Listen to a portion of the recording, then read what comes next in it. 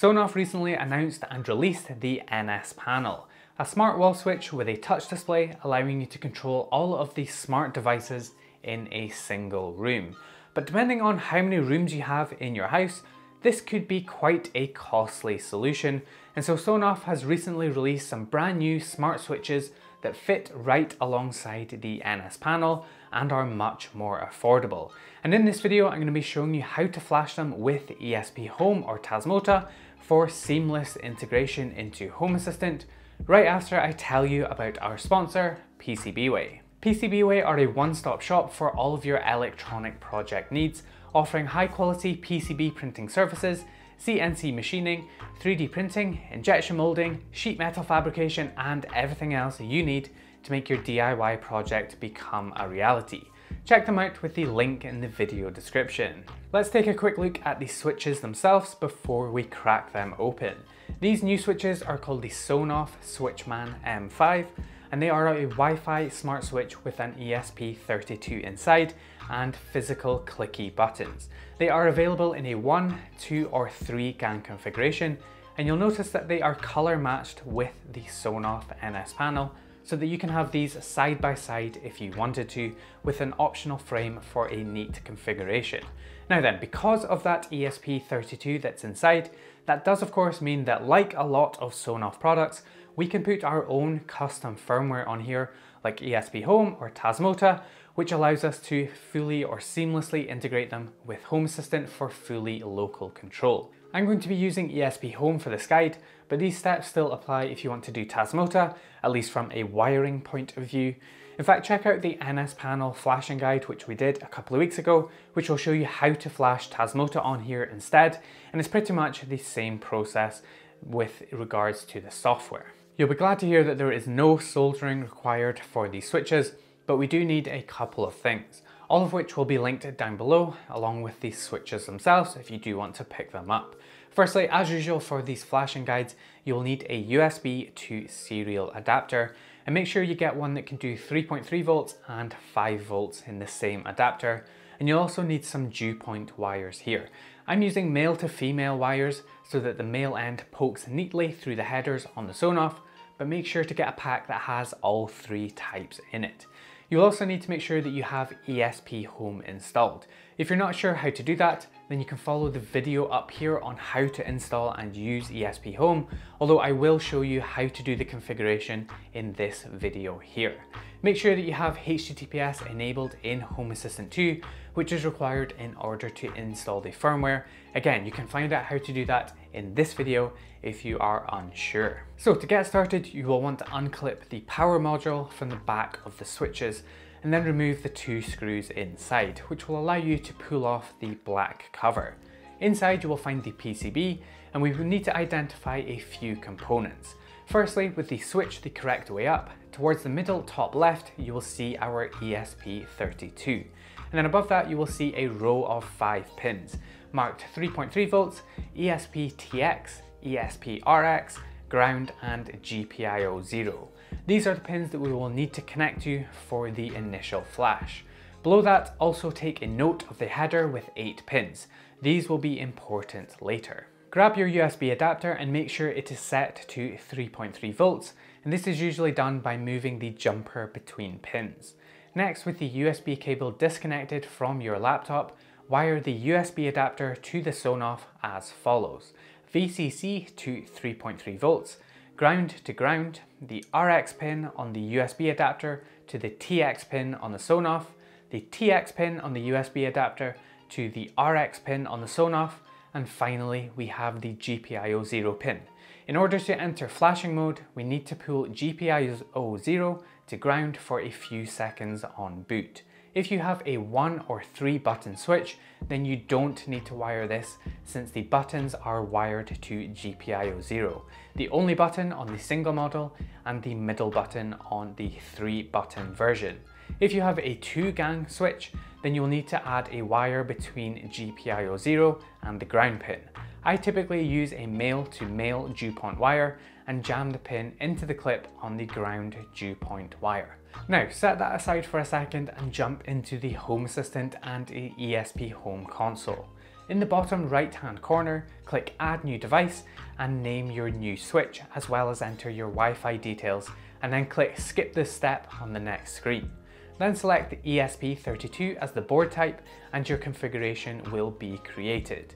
If we click edit on the config, we can see that ESP Home has created a basic config with everything we need in it for Home Assistant to connect to, and it doesn't contain the information to connect the relays and the switches just yet, but we can do that later with an over-the-air update after installing our initial configuration. You can now plug in the USB cable from your laptop to the USB adapter, whilst holding pressure down on the pins to make sure that they make good contact. If you have a one or three button switch, make sure you are pressing and holding the middle button in order to enter flashing mode before you plug in the USB cable. Wait 3 or 4 seconds and then you can release the button if you are pressing it, but make sure to keep constant pressure on the pins. It may be easier to have someone help you do this. Then press the install button on your ESP home config and select the plug-in to this computer option and then select your USB to serial adapter from the list and hit connect. ESP Home will now begin to install the firmware to the device and this process does take a few minutes the first time you run it, so make sure to keep still and not disturb the wires while this happens. Once you get to 100% complete, you can disconnect and reconnect the USB cable to your computer to power cycle the device, this time without having the GPIO 0 pin grounded through the cable or pressing the button. This time hit the logs button and select your COM port once again and you should see some logs pop up which means everything went okay. It's worth mentioning here that you may or may not run into a boot loop occurring in the logs, where it's constantly rebooting and the logs are moving really fast. If that happens, then this is okay. I found that the power delivered through the USB port on my computer at 3.3 volts was not enough. But if you're able to connect and see some logs at least, then everything worked okay. Now disconnect all the DuPont connections again, as well as unplug the USB to serial adapter. This time set the USB to serial adapter to 5 volts using the jumper pin, and remember the 8 pin header that we identified on the Sonoff earlier. We're going to use this to power up the unit using 5 volts instead to make sure that it all worked okay. Wire VCC from the USB adapter to the bottom right pin of the 8 pin header and the ground pin to the bottom left pin. Note the legend which tells you which pins are which. Plug the USB to serial into your computer and let the switch power up. Then either check your router's webpage to see if the device has now shown up, or you can click the logs button in the ESP home console to see if it connects. This time there should hopefully be no boot loop and the device should display basic information. Now we know that the device has been flashed successfully and we can go ahead and reassemble the entire device and at this point you can then wire it into your wall. Once wired and powered up, we can now go ahead and configure our relays and switches so that they actually work. Up until this point we have just added a basic ESP home config, but we haven't actually configured any of the relays or the buttons to work yet.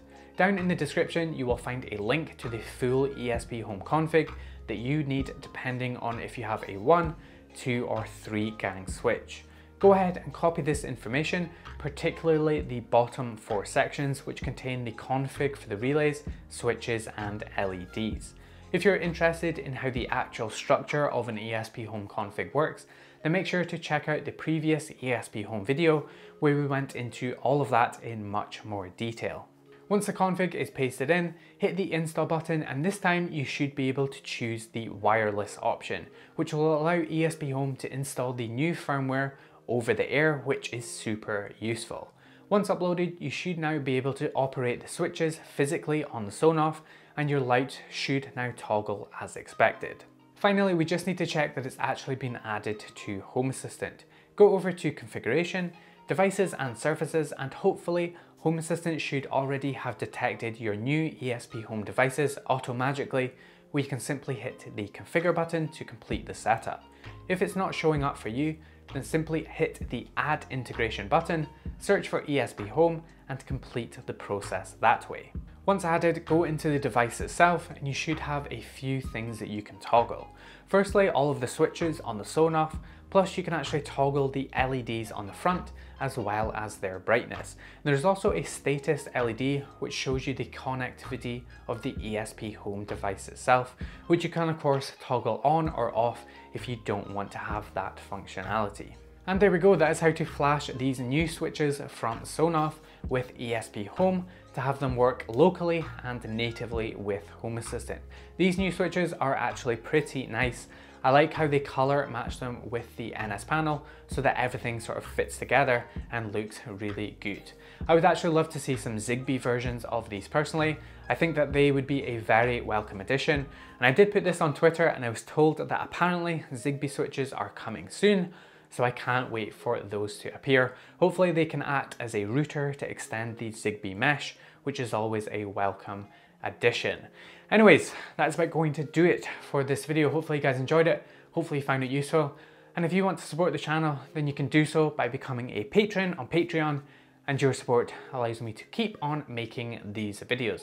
Thank you to all my current Patreon supporters. As always, your support is very much appreciated. Make sure to drop this video a like and get subscribed, and I will see you in the next video.